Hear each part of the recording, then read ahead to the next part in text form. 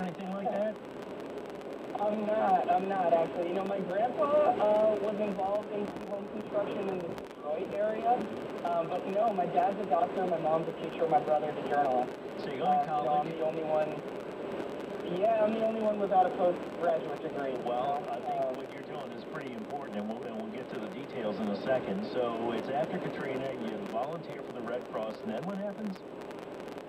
Or you, so you donate to the it Red Cross? For, yeah, I donated to the Red Cross, and then and then I asked uh, the operator how I could do what she was doing. Mhm. um, and she signed me up for a volunteer shift. I'm originally from California, so I started volunteering with the Red Cross from California, and then they sent me here for two field deployments where I was, you know, hooking people up with resources and, and things that they needed, and the city was in, you know, I tell you, listeners, it was in a pretty bad, bad situation, and nobody was asking me what degree I had that qualified me to do the work, right?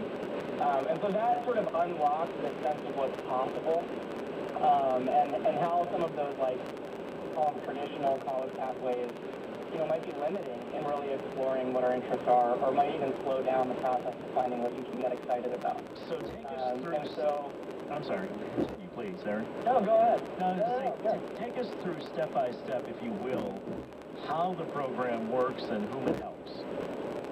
Awesome. So our young people attend uh, public charter schools here in New Orleans. We're Uh, defining young people as like uh, young people are ages 16 and up. So we hire these young people as W-2 employees. So they're covered by our workers' comp insurance. We do payroll taxes. We're not stipending or 1099ing anybody. They have to attend one of our partnering schools and the homeschool collective, NOLA homeschoolers that we work with. Um, so they apply for the a position as an apprentice with Uncommon Construction. They have an interview.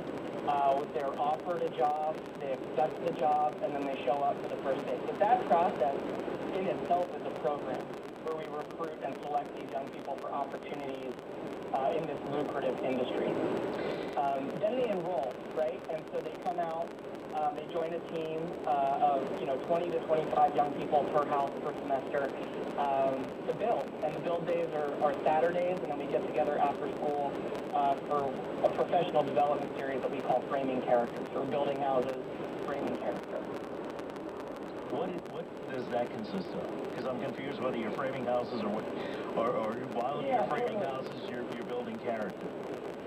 Yeah, so we, um, you know, our young people every semester get over 100 hours of technical on-the-job training in an environment that puts a very intentional focus on the development and demonstration of soft skills.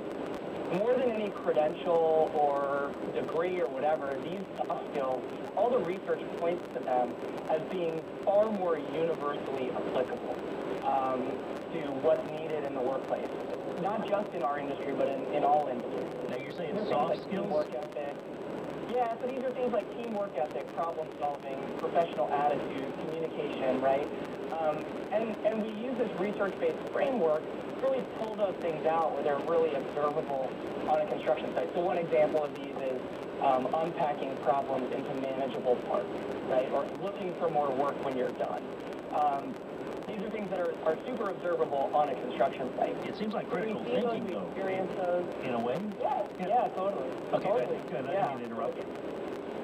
No, it's all good. Um, and so we, we experience those on Saturdays and then we contextualize them after school. Um, after school sessions, we're, uh, you know, our team building exercises. We go on field trips to commercial construction sites. We collaborate with professional architects for the design of the houses that our young people then build when they're in the program. Um, so we're really connecting a lot of dots um, not just in like, okay, here's how you set up a ladder, here's your personal protective equipment, those kinds of things, which can still become like, you know, textbook-based and sometimes boring. It doesn't just all of a sudden unlock uh, for a young person just because, you know, it happens to be about construction. We need to put it all in context and have a real experiential education um, opportunity for them. So you build the houses on Saturday and after school, Saturday weekends, or just Saturdays? Yeah, Saturdays, and then we have a few weekday opportunities, you know, when schools are on vacation.